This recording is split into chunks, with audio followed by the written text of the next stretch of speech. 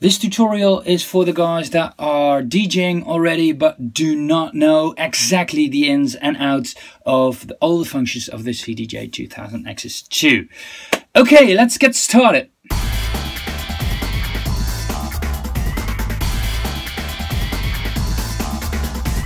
Hey guys, I'm back with a tutorial and this time a tutorial on the Nexus 2 of Pioneer and to be precise the CDJ 2000 Nexus 2.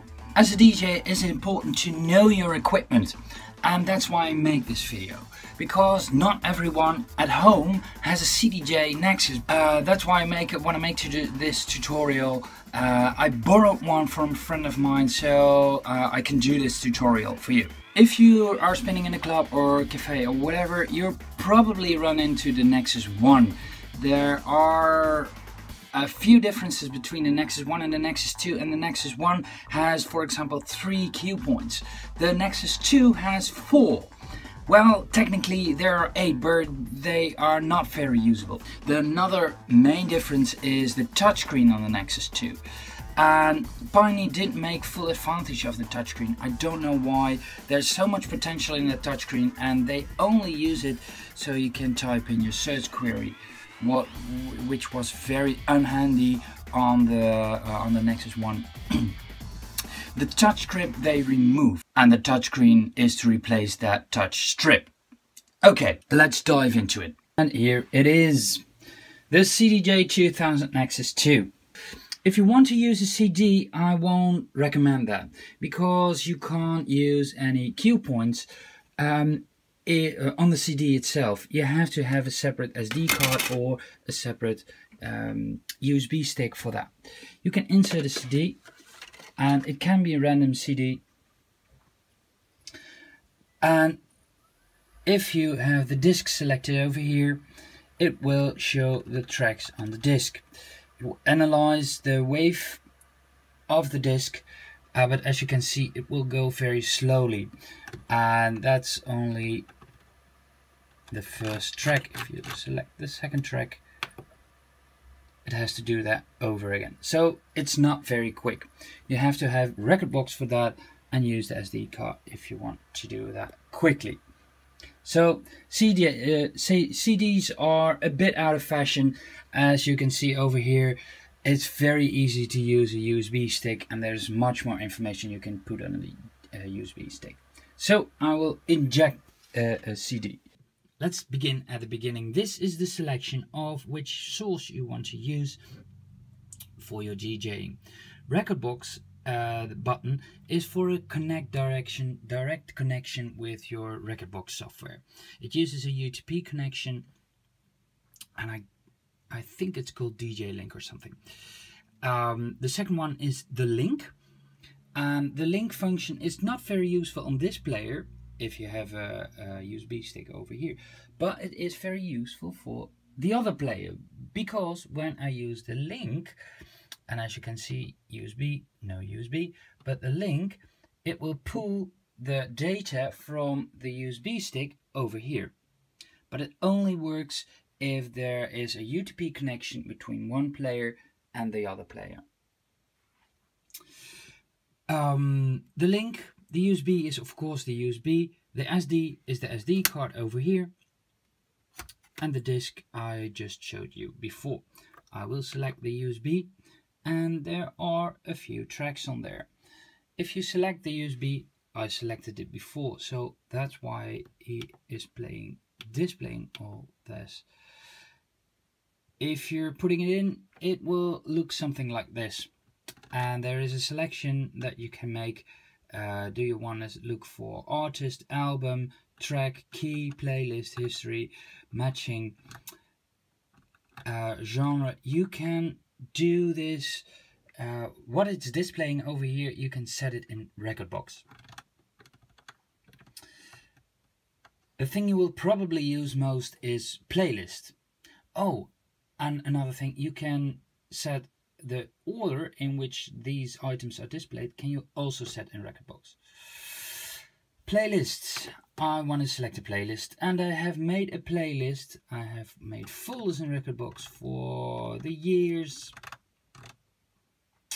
And in this time for the 10 years um, and I will select for example well techno um, I do something like that it will display the waveform that I analyzed it will display the shortcuts or hotkeys as uh, um, as Pioneer has called them over here those are in green and the red thingies over here are the cue points you've set. What is the difference between a hot cue and a cue point? Well, a cue point, you can call them with these keys. You can set them, uh, you can switch between them. This is the first uh, cue point, and I made a second one that is uh, accidentally the same as cue B and but I made more cue points than hot cues. The red thingies are hot cues. To set a hot cue, you just press memory. Um, when I hit play, and I think, well, that's a good. This is a good spot for hot cue. It isn't, but let's say it is. If you have your quantize function on, just press the cue it will jump back to the exact beat. Then I press memory and will set a new memory point. The memory point is stored on the USB. So if you go back to Rekordbox, you have to import the keys back into Rekordbox. And that's why it's handy for you if you want to do it at home to use the Rekordbox connection function because if you now set a Rekordbox function uh, a cue point Rekordbox if it's um, directly connected it will do it uh, automatically for you so you have don't have to synchronize separately okay cue points but if you have a cue point um, you probably want to delete it and this is a very unuseful uh, location for a cue point, so I press delete. It don't ask if you want to delete it, it just deletes it. Okay, this is the cue point section. The input section. Now the hot cues. Well, the hot cues are used so you can jump in a song. If you press the cue points, it has to load and it's not quick enough uh, for a live DJ set. It's only so you can cue uh, and have a starting point that it's recorded in front so you don't have to look and to search uh, the whole song for a starting point.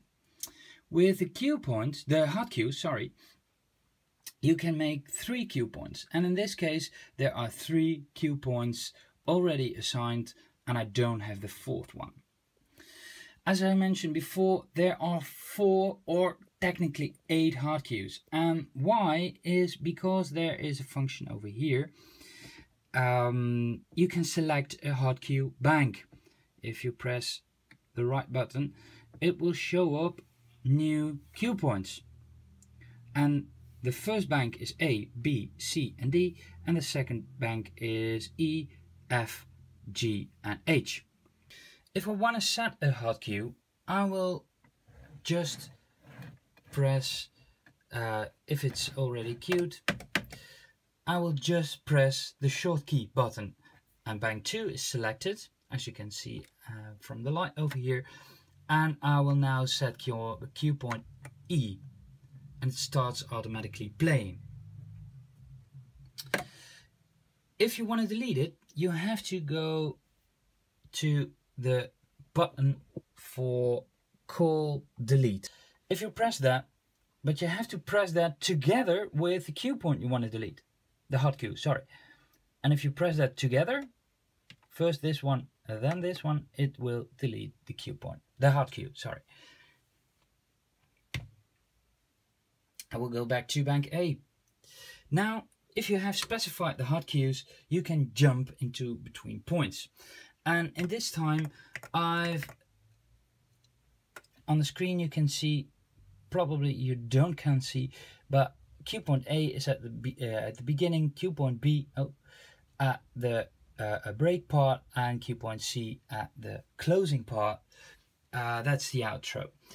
But now, if I am, for example, right in the middle of a song and I say, well, now I want to jump to the out point, I will just press the C for jumping to point C.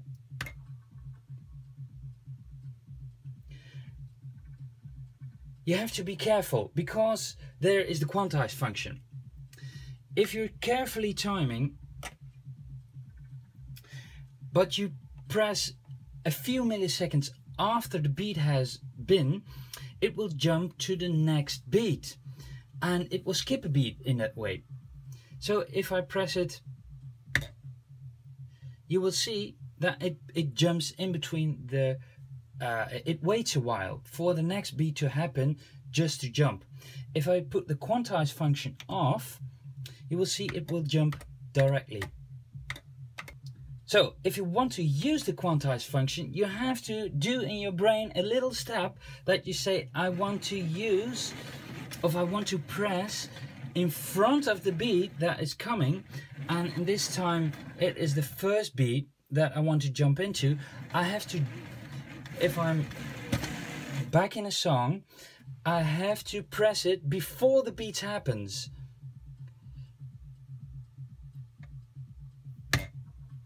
And as you can see and now it's completely in the timing of the song. And let's make a loop. Therefore are these buttons the in point the out point the reloop and exit button and the 4 beat and 8 beat loop that you can make. If you want to make a loop uh, you press the in point of course and uh, therefore if you want to do the out point you press the out point. Well as you can see, I didn't make a perfect loop over here. Um, well, actually I did, but not on the bars. And it will reloop the whole thing. You can shorten the loop, it's 16 bars. You can shorten it by 8, 4, 2, 1, a half, and a fourth. That's probably known territory. But there's one thing you have to know and that's really important that can fuck up your DJ set. The quantize button. As you can probably hear, uh, if you use these functions with the quantize on, it will do a perfect shortener. But there is a very, very tricky thing. If you do this with the quantize off, you will notice it will start at the beginning of the loop.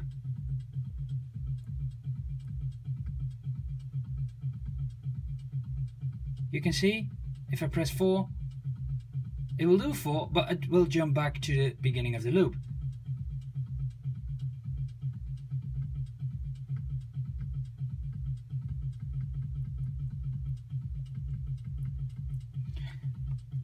And if you put the quantize on, not only will it stay really in sync with the music, but it won't back uh, jump back into the loop. So that's one really, really nasty thing.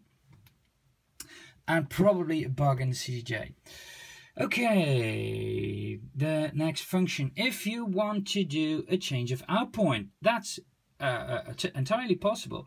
If you want to do a new out point, you will press the, the button again and you can make a new out point. The problem is you don't see where the music is. You can do a, a shortening in this way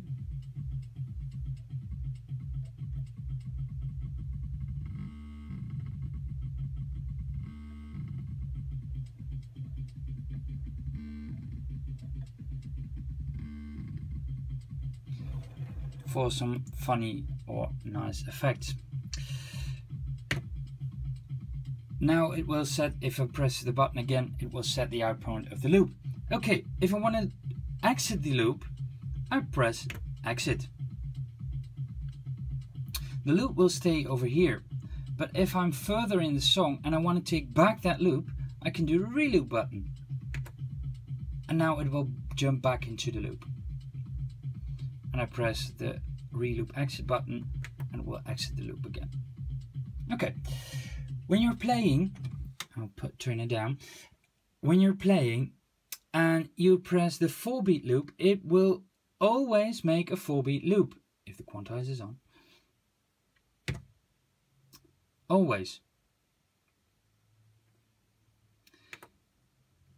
As for this input and output, you have to set the input and the output manually. It will always do a 4 beat loop. And that's pretty nifty. Exit it. But if I want an 8 beat loop, I have to press this button 2 seconds. And it will automatically jump to 8 bars. Okay, but you can also adjust the in point of a loop. And that's by pressing again, uh, making a loop, by pressing the in point and pressing the out. And pressing the in point again if you want to adjust that. And I will turn up the volume. This is a perfect 4 beat loop. And now I can shorten the loop, but I can shorten it just as much. Can't do a lot about it. The quantize function, well, yeah, doesn't do really a lot. Another thing, important thing to know is that a quantize function is very handy to make these kinds of loops because um, if I have the quantize function on and I do an in point and I do a random out point, it is not a perfect loop as you can hear. As when I do it with function on, you will hear it's a perfect loop. Then the slip function. And the slip function is over here. What does the slip function do? Well, if you do some trickery, the track will keep playing in the background, but you don't hear it. For example, when you do a cue point in slip mode, it will do the cue point, so it will play the hot, sorry the cue the hot cue, it will play the hot cue, but um, as soon as it uh, uh, if you release the button, it will jump back right in the place of the track where you are. And I will do an example. A track is playing. When I press the slip function, it starts flashing the lights the slip function is on and now you can see the lights are turning blue. And also the loop um, beats on, of a loop are turning blue. Now you can do a loop but the song is playing ahead of you. It's playing in the background. I don't know if you can see it right properly. If I make a loop, a one beat loop, it will loop that section, but it jumps right back it where it uh, at where it should be if you don't didn't do that.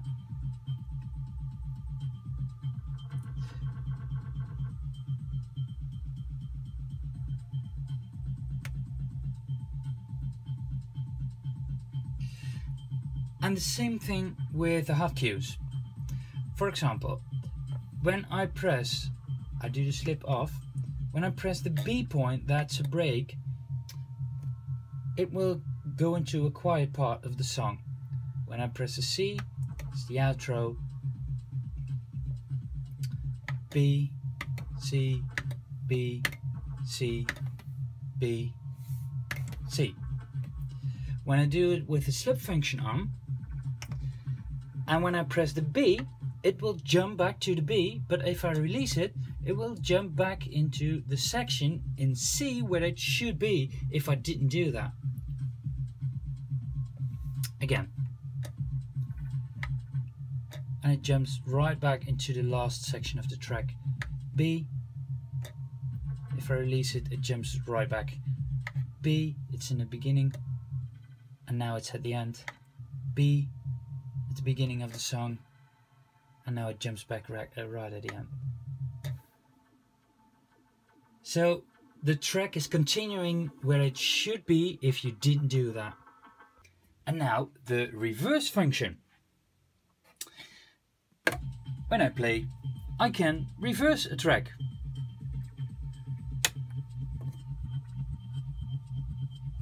I will reverse. Not very difficult. But there is a slip reverse also.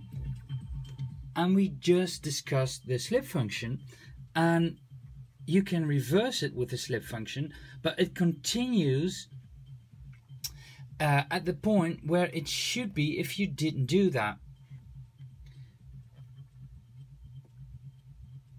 And I as I leave it, it will jump right, back in at the point.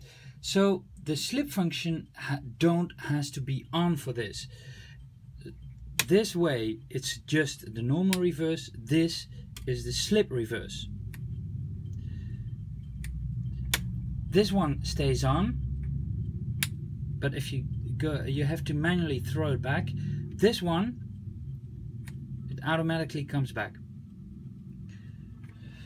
And something I forgot to mention earlier, with the slip function, there is a limited amount of time you can do that. And with the reverse function also. I can do a reverse, but if I do it long enough, it will jump back automatically and uh, it will flash over here. You can do it only a few seconds because otherwise it runs out of memory or something. Again,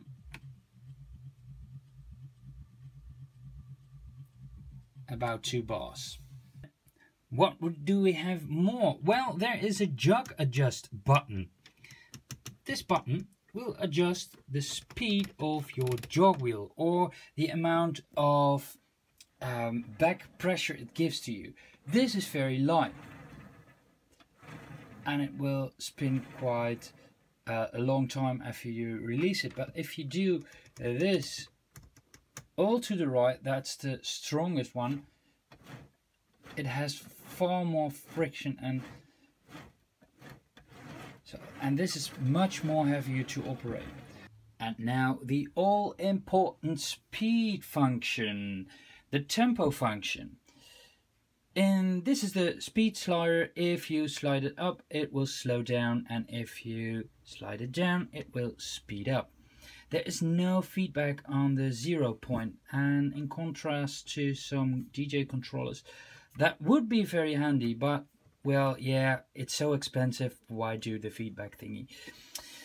Um, the speed you can see on the display over here. Over here. And if I turn it down it will go down.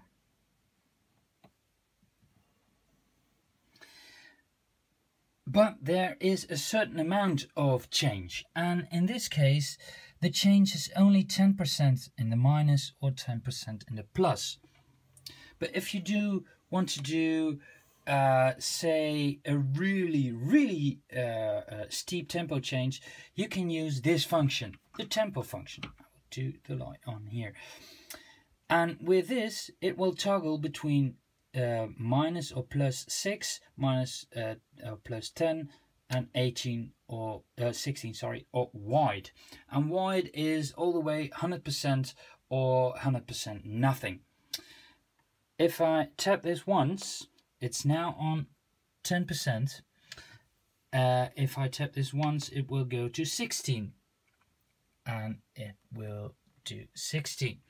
Now the tempo changes are minus or plus 16. If I do a wide, I press this button and it says here wide.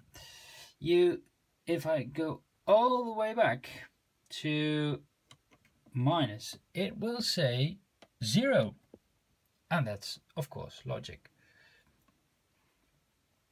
The changes you make in this slider are very hefty in the upper ranges of this thing. I usually like to keep this one on 10%. That's the most comfortable. Okay, there is also the famous Master Tempo button. Master Tempo, what does it do? Well, when you play a song, You probably know it, but I'll explain it anyway. With master tempo off, if you do a tempo change, your pitch will go up or go down. It will go down if I slow it down, up if I speed it up. With master tempo on, and I will go back into another section of the song where you can hear it very clearly. Off. On. This is with on. You will go the tempo up or down but not the the the pitch of the of the song then there is another speed function. And that's a tempo reset. If you press the tempo reset you can see the speed change. It's now I'll do the volume F uh, uh, uh, go down the volume. Um, it's at 126.8 the speed difference is only just well uh, almost 1% if I go back you will see it will do 7.5% in minus when I press tempo reset it will reset back to 0% and back to 128 beats per minute. And now you see that it's over here. But your slider is still over here. What happens now if you do the slider? Well, it does do nothing because this is on. When I do it off, it will jump back into 117 and you can do stuff tempo reset this function do, does nothing. But guys and girls there is another way to change your tempo. And that's by changing the tempo um, according to the tempo of the other player. So you can copy over the uh, the BPM from this player to this player just by the click of a button how do you do this? Well, the other player has to be on master and sync has to be off. On the other player, if you just press, well, uh, uh, uh, just uh, play the song, it's now in the break. When I press the sync button, it will change the tempo of the song. I press sync, and as you can see, it will sync up the BPM of the other player. It will do tempo change, so don't do it at the middle of your song if you're playing, of course. There is a whole discussion about using the sync button because you can do it this way. Um, because this way you can also automatically beat match without beat matching because the player does the beat matching for you. And that uh, I get why there is a discussion uh, because, well, then you're not really DJing. And I think in that aspect, they're true. Uh, it's true, but on the other hand, the key is there. So if you need it, use it. My personal opinion, I don't use it because I like to have some control over what I'm doing. But sometimes I don't have the time uh, or I have to uh, uh do a decision very quickly or um, I can't beat match in time, for example, that happens not a lot, but sometimes it happens. And then I use, in an emergency, I use the sync button, but I don't try to use it. One important thing, the master has to be off because this is the master and then you can sync up here. What the master is or isn't, that it's determined by your mixer. Um, by the buttons over here. And as you saw, this player was finished playing. Do the master uh, volume down. This player was playing stop because it was at the end of the song.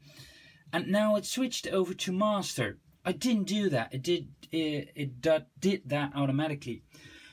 Um, tempo matching is also is only done if the DJ link and that's the UTP connection between uh, this guy, this guy, and this guy is correctly done. The sync button works if only two players are connected, but the automatic uh, master switch uh, is done by your mixer. If this one is playing, the mixer fights out with the players who is the master or who isn't. For example, this one is playing right now, but when I switch off the sync and I turn down the other player up here and I do a fader down this one is off and now this one is on. What player is playing and that's a setting you can do uh, and it only works if the DJ if the connection the DJ link connection is active.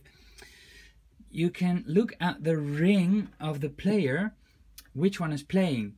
Now I know from just from looking at the color this one is playing this one is not. If I do a fader up this one is also playing. The ring turns red. This one turns red too. But there is a big but if the setting is not correctly, this one has to be player 2 on slider 2 and this one has to be player 1 on on slider 1 if you connect and that's what I did a few months ago if you connect player 1 to slide 2 and player 3 uh, and player 2 to slider 3 it won't work. It thinks that it is the second player because it's slider 2. So it will turn up, and that can be confusing, it will turn up the red ring from the first player, but it isn't the first player, it's the, uh, um, it, it's the second player. I confused myself over here.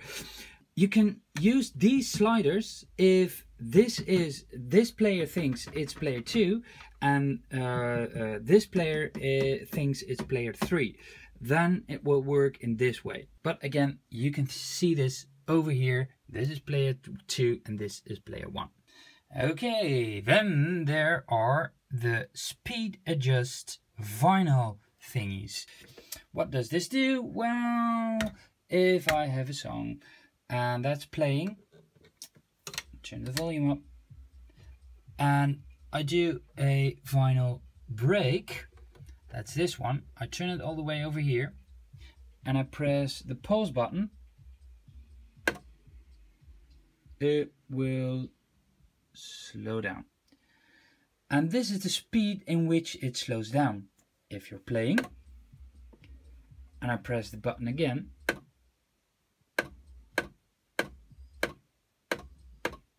it's very short. Turn way up.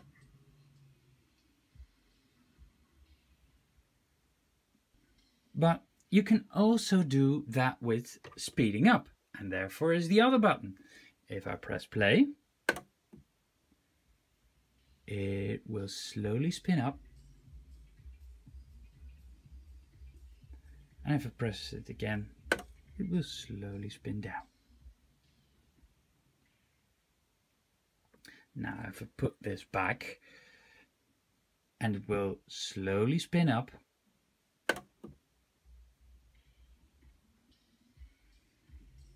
but because this is turned down it will immediately stop.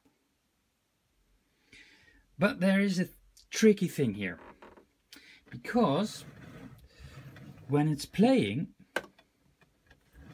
and I release this one, it will do that, the speed up thingy. But, so if I set a cue point, it's standing still, now I press play, it won't do that. You have to have the, the pause button, uh, it has to be paused, not cued, It has to be paused for it to work. Okay, let's continue our buttons quest. There is a button for uh, the jog mode and that controls how the behavior of the jog wheel is. When I switch to a cue point, a point in the song, and I do the volume open, there are two modes, the vinyl mode and the CDJ mode. The vinyl mode is the mode that you will think it will react. And that's when you do this, it will scratch. Very logic because that's the way a, a vinyl player will react. But there is a CDJ mode. And with the CDJ mode, when you do this, it won't react to that. It um, when you do this, it will have the same function as the outer ring. When you pause a song, a really thing, annoying thing will happen. It will repeat the last position.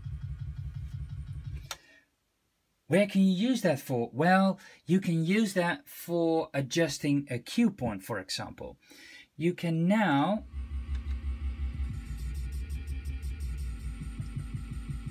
you can look up where the beat is in.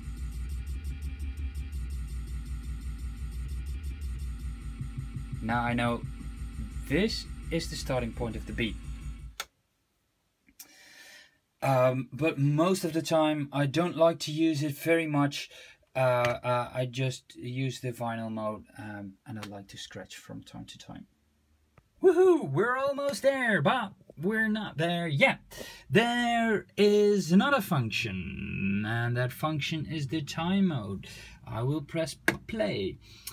What does the time mode do? Well, and the auto cue. The time mode is this button.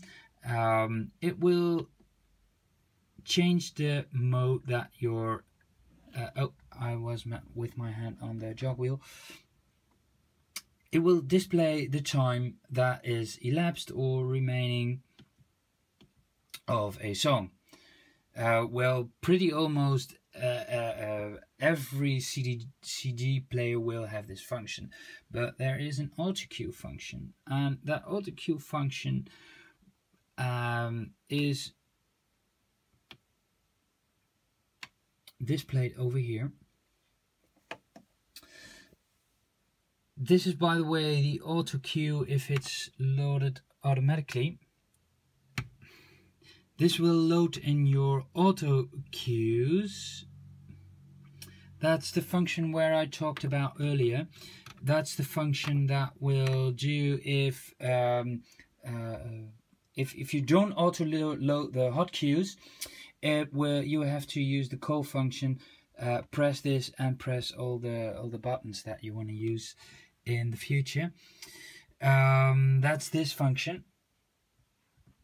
But there is an auto cue and that is when you select a, a, a song uh, for the first time uh, for example this it will don't start to play it will automatically cue on the first cue point of the song. You can switch that off. I don't really use that a lot. Yeah, and then the functions on top of the screen.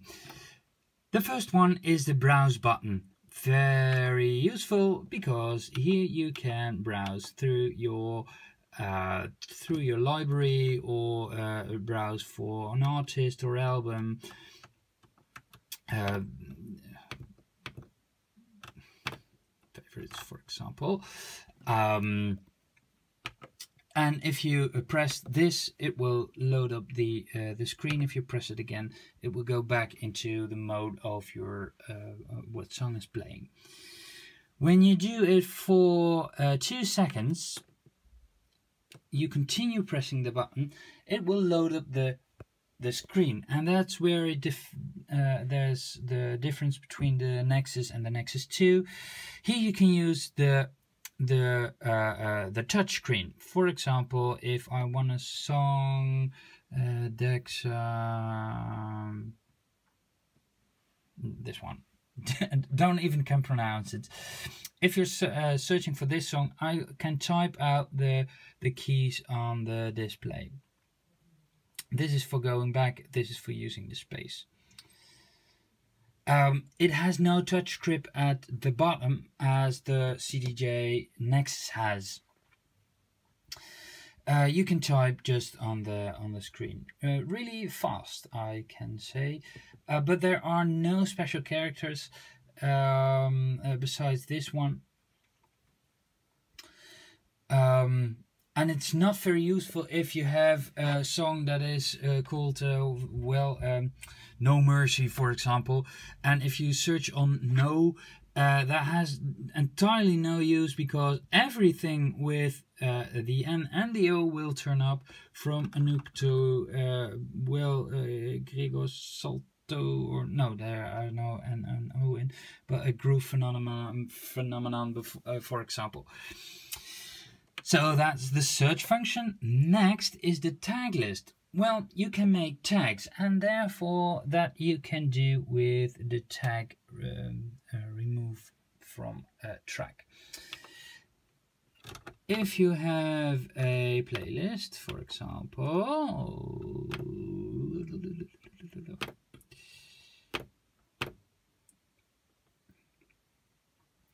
and I can tag this song if I want to.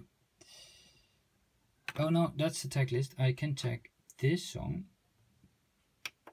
So I can use it later.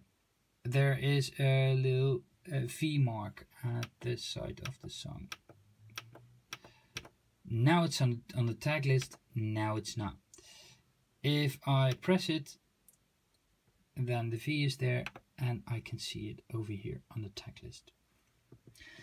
There is a really I don't know if they fixed it, but sometimes it is written to the USB drive, and some and Rekordbox can read it, uh, and sometimes it's not. I don't know what it is, but you can select songs throughout your DJ set, or you're in a playlist, for example, and you say, "Well, uh, I want to do this song a little bit later.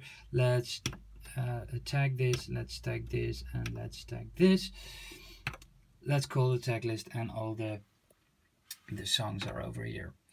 Okay, then there's the info button.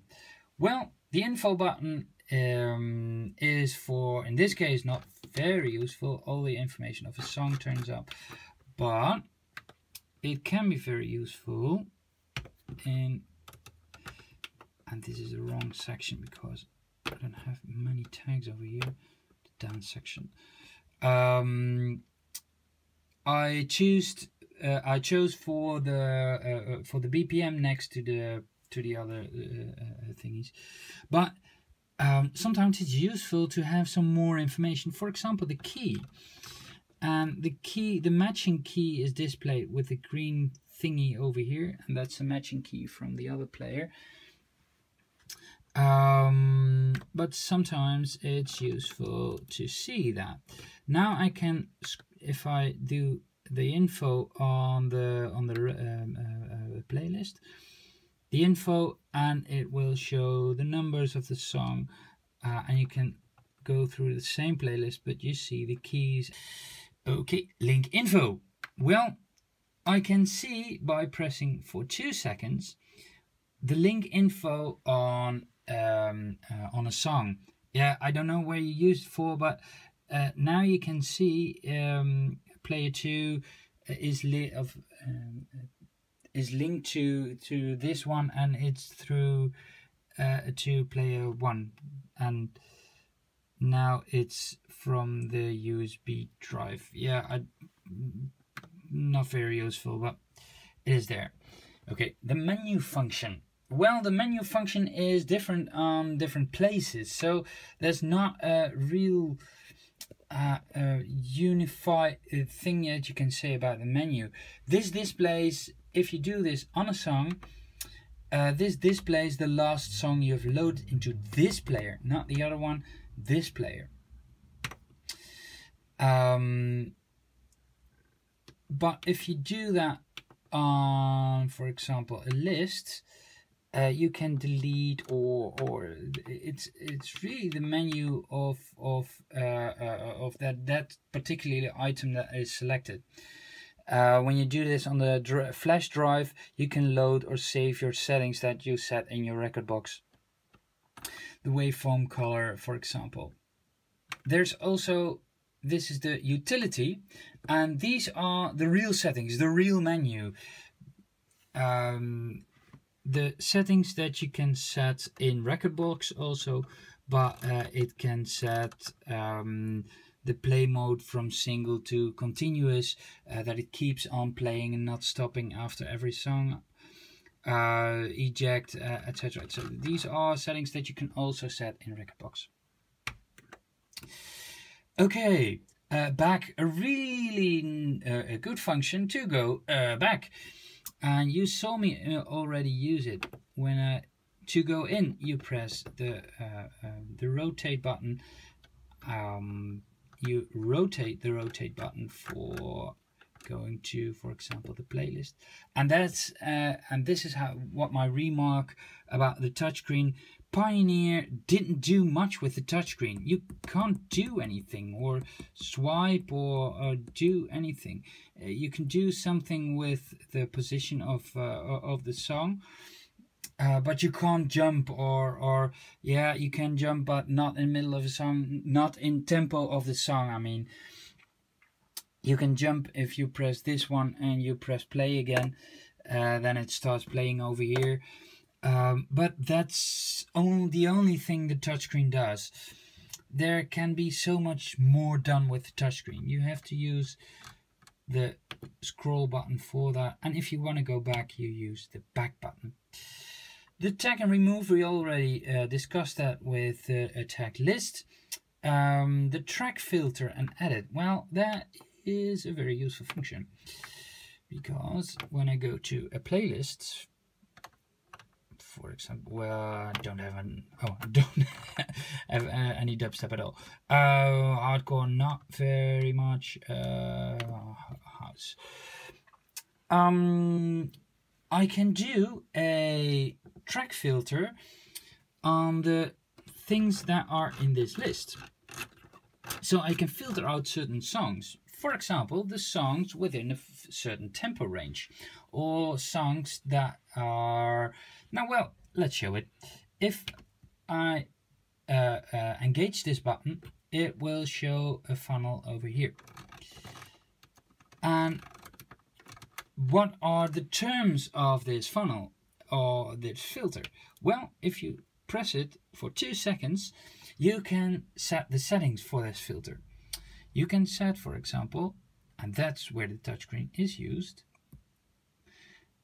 For example, the BPM range, uh, 130 BPM plus or minus 6, uh, the key, and that's, uh, well, um, yeah, you can't set the key, you can't set the, um, the Camelot notation, uh, so you have to have a sheet with a uh, with a translation, but you can set the um, the related key. You can also set the rating which I use for the energy level and the color uh, that it has to supply with. But the most useful is the BPM and the matching key of the other player. And this is again where the master function comes in. Um, this These are the uh, things that are copied from the master player and in this case this is the master player. Okay, these are the functions. Let's go back. And now you see only one track fits into the um, the things that I wanted to do.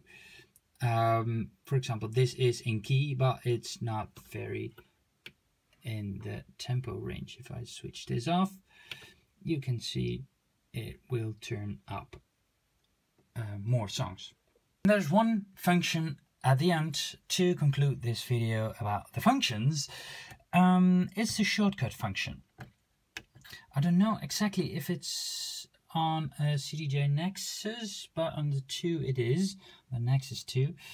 and that's the shortcut function. Uh, the shortcut functions are shortcuts to functions that you can manage or reach other uh, ways. For example, uh, you can do some settings from the settings menu, load or save settings, uh, the, um, the color of your waveform, uh, you can make it blue or RGB. Um, but also a track. And you can uh, do that by uh, tapping the screen. Shortcut uh, playlist and it will show all your playlists. Shortcut search and yeah I don't know why the search is here because you can also reach it by pressing two uh, seconds over here uh, and the matching. Um, I did not a video about the matching uh, or the, the super functions of Rekordbox, check that video out. That uh, goes into the matching function of the CDJs. Okay, that concludes the functions at the front of the player, but there is also a back of the player. Why is that important? Well, maybe if you know how it's connected, then you can connect yourself or fix some problems that are with the CDJ. At the back we have uh, a couple of connections and the first one is the USB connection. This one you can use uh, to hook up with your computer. For example, use your CDJ as a MIDI controller for your DAW. Well, not very useful, but you can use it for that. Uh, but um, there's also a function for controlling the players with it from I think Serato or something. The link that we talked about a few times, the link that is used, it's a RG45 connector, which I can't get loose. Um, uh, it's a, just a network connection. Um, you have to have a USB hub to use it uh, no USB hub, a UTP hub. Then we have uh, the uh, audio connections. This is for the, um, the analog connections, the right, the left. Um, but I don't use that. I use the digital one because then you don't have so much quality loss uh, on the way to your mixer. Uh, that's the power connection. And of course, this is the power button. Now I have a question for you. Denon released in the beginning of this year the 5000 players with almost the same capabilities or even more capabilities than the Nexus 2. But um, from just the looks of it, it looks a bit cheap and fragile. But is it? I didn't experience it. What's your experience with the 5000 player of Denon? Please share it with me in the comments below and the other users of YouTube. It was a little bit lengthy, but I hope it was very useful to you. Um, this concludes this vlog. I hope to see you next time. Thank you for watching and until next time. Bye.